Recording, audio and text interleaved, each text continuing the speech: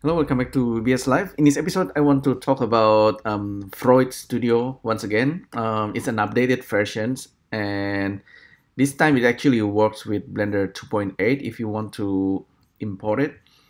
Basically, an app that allows you to create a CG character, male or female models, um, kind of like with anime shaders and, and uh, with anime hair as well. You can download it for Windows or Mac OS and you can make this kind of character. This, this one actually comes with presets. So yeah, let's get started. Uh, you download the app, uh, which I think, um, so I have it here for Mac OS and I can actually start with a by creating new avatar male or female okay female one um, they all come with a uh, the typical Japanese high school dress and I'm currently I don't I don't have my mouse but I'm, I'm using uh, the Mac touchpad. Um, so using two finger ups and down it's for zooming in. Shift and click drag to pan and then there's also two finger tap and then you can rotate it. Yeah don't rotate it too low but anyway uh, you can customize uh, the character like the eyes um, the, the hair is actually kind of interesting as well. The eyes actually really really important with anime characters.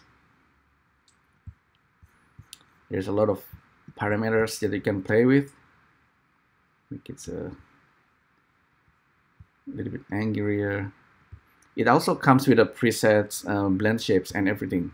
So it's actually a really really powerful app so I'll let you play around with this yourself but there's a lot of um, uh, customizations that you can do um, I'm just gonna show you the whole process of uh, importing it into Blender and maybe at some point exporting it as, as an AR, um, AR USDZ.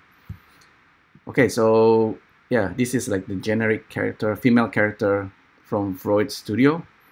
In order to export it, you just go to export over here and you can export it with a with a personality but you can just export it as it is. Export uh, there's an option to export the hair to obj but don't worry about that. We're just gonna save it as um, a character. Maybe call it Alice also sushi contact information don't worry it's interesting with a VR um, VR thing in Japan it's actually really big I think a lot of uh, HoloLens or other type of VR environments already using this. So I'm saving it as VRM um, model. In the past, you can, in order to bring it into Blender, you you change the VRM into um, GLB type format, and then you can import it into Blender. But in this case, we're gonna keep it as VRM. Okay, so in order to bring it into Blender, there's um, already an add-on. This one does it really, really well. Cats add-on by Michael de Groot. And this add-on actually will connect you to a lot of things like MMD for um, character pose and dance. And also it will tell you if you need to import the VRM, you need to download this VRM imported for Blender 2.8. So this one is also really, really good. So, but for you, you just need to um, download this as zip and then install it in, inside Blender and you will see if I open Blender 2.8 now, and you can see the whole interface. So I used this a bit last night and let's see if uh, it is working. Everything. I already installed the add-on so I have this cats tab. It's got a lot of things. Edit preferences cats. So this is the add-on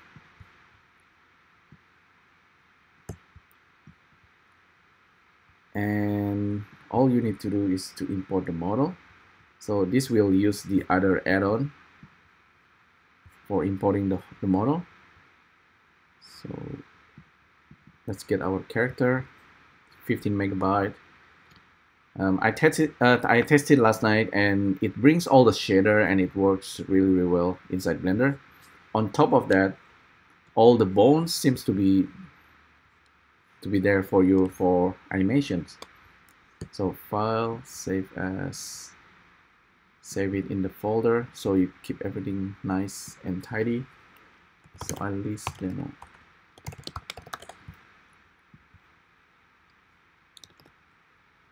if you want a timeline. So you can start animating this character. Maybe uh, turn this shader. It's pretty advanced importer and seems like the whole setup um, it's a lot of people working on Vroid character. Um,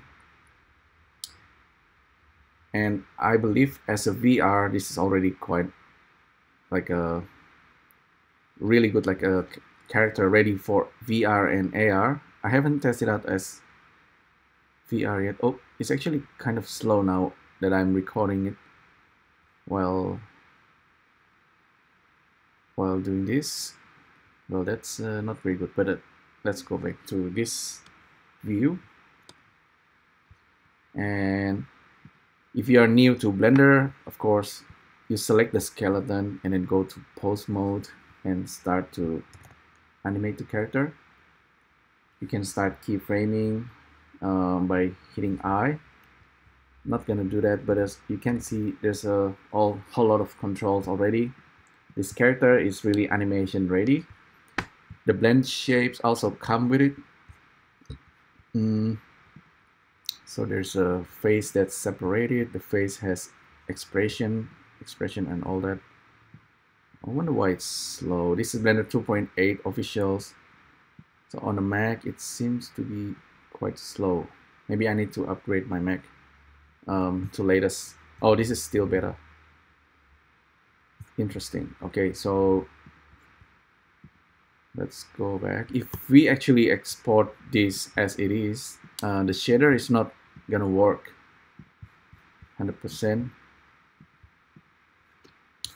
need to turn off the notification if I export it as GLTF for USDZ it's not actually not uh, not gonna work. Let me try if I can export it as GLB and wonder if USDZ converter is supporting GLB now. I'll export GLTF I have a feeling that I need I just need to extract the the texture and then it should work with the USDZ. So let's try this. USDZ converter from Apple. USDZ convert. So we have oh, okay we have all the texture extracted. I wonder if it works with GLB okay GLB seems to work now. That's actually interesting. It didn't work before um, okay now the texture still doesn't work. So that's unfortunate um, but I have a bit of trick that I can do. Let's try. Go into shader editor and look at the shader. Okay this is this is like a NPR shader for this character. You can see in, like if you're just rendering it out in blender it's already looking really really good.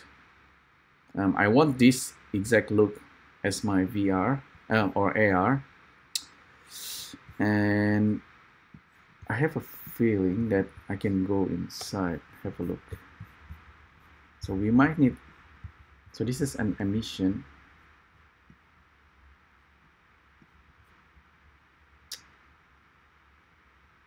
so I have a feeling because this is emission we can just use principles BSDF and plug this into emission wow so, it's super slow uh, shader so use the RGB shader to RGB convert the shader back into color and plug this into emission and maybe base color. And the alpha goes into the alpha as well. So so I'm working on what is this is the face mouth and okay. Let me try a different different shader. Like for the, the body. Body there's a cloth top cloth bottom. Let me do that again. So we need a principles BSDF and we just plug it in it's gonna give an error. Shader to RGB and color oops that's really slow. Color to emissions and alpha to alpha. File save. File export gltf let's do this again. Hopefully the texture is translating. There's still a bit of manual work. Um, and currently I haven't tested the MMD um, library yet. So there's a lot of MMD files out there that uh, it's kind of for dancing to make this character dance. Um, and it's, it's a uh, it's really powerful actually. You, you already have a lot of assets out there. So you can make your own character apply dance moves and then use it in VR or AR so there's a there's a lot of things already going on. So this is the older one. Let me try converting it once again. So let's see. So this time the character have a texture which is good. There's a it might not work 100% but it's this is better than before right? I, I, I need to do that for all of the shader. I think it should be less than 100 shaders but basically assigning this into shader convert it into RGB from this shader into principles. So the GLTF and USDZ convert will understand. Oh by the way this uh the skirt is actually one-sided. You probably want to turn this into double-sided in order to convert correctly. Uh, maybe just add some kind of thickness or use modifier solidify modifier in order to do that. Um, if you want to see the skirt. But anyway um, that's pretty much the whole process. I will need to test with MMD and then test it with a dance move animations and maybe assign a, a music as well. But the whole performance can be should be able in theory you should be able to export it as USDZ for Apple AR that will work on iPhone or iPad. So it's it's really cool actually that um, that you're already able to do this. What's missing probably some kind of dynamics like for the skirt and maybe for the chest or the hair. Uh, the hair is really important. Without that kind of dynamics it feels a, a little bit something's a little bit missing. But people already use uh, Vroid for real-time character performance in YouTube VR a lot of things. And so I'm probably a little bit behind and still new with still new with uh, this kind of uh, this kind of thing so but I, I'm I'll, I'm gonna give it a try. Just gonna export it as AR because that's what most people can already experience. Um, so yeah that's basically it. it is uh, from VRoid Studio. Uh, we export it import it into Blender and export it as Apple USDZ kind of still work in progress. Just one thing missing is actually the blend shapes so the blend shape itself, like I said, is already here. You can animate it, but it's not gonna work as Apple AR. So, so that's one thing you need to to know. It's kind of a limitation. Maybe next year you can do this. But anyway, thanks again for tuning in, and I'll see you next time. Thank you. Bye.